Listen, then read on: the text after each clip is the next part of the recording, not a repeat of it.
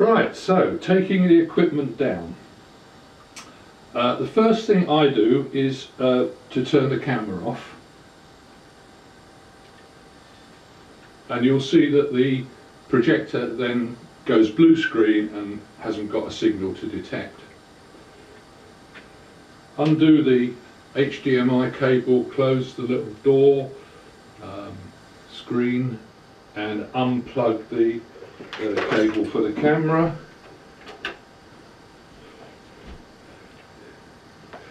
Take the camera off the quick release thing. Um, and while you're doing that, you should press the button for turning the projector off. You have to press it again and the projector light will go off but the fan will keep working and that needs to be kept on power until it stops whirring because it's cooling the bulb down. Okay, so we unplug the camera adapter charger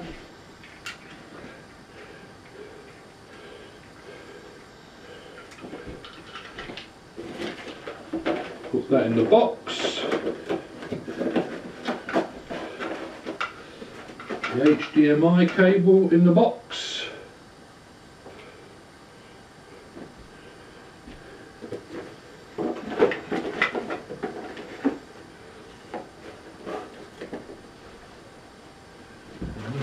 Ah. Put the camera in the little bag protect it and then we can shut it all up.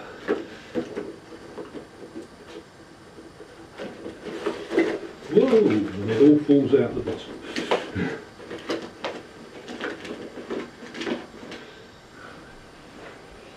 The projector's still whirring, so the next thing to take down is the uh, tripod.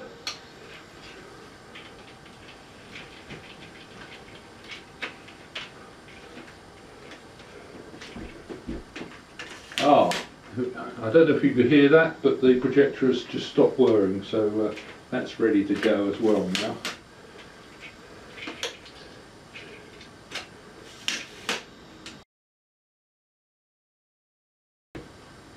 Right, so we unplug the projector.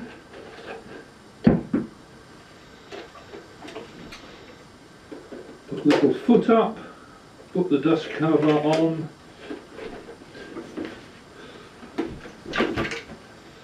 Strap it securely in the bag.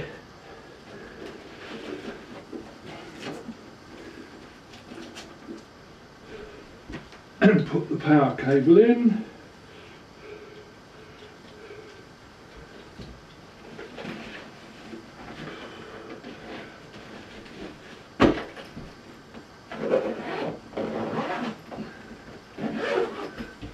Zip it up. Unplug the extension cable.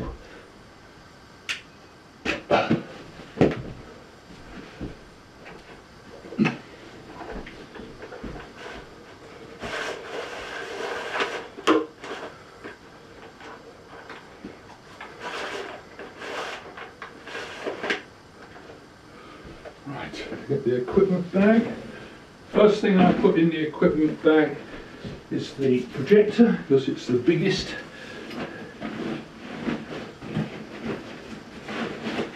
Put it up one end, then the extension cable should go at the other end with the uh, the safety um,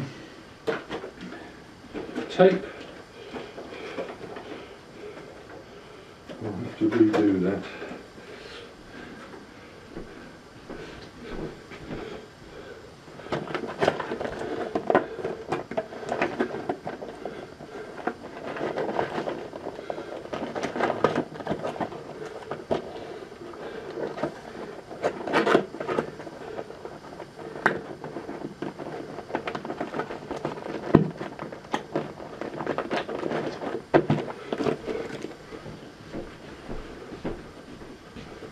Right, then the camera goes in the bag.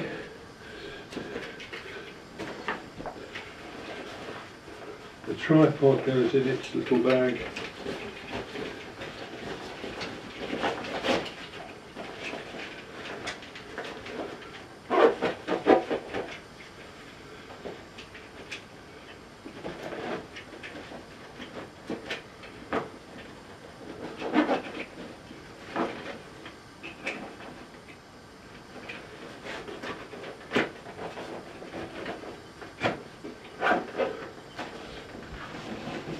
And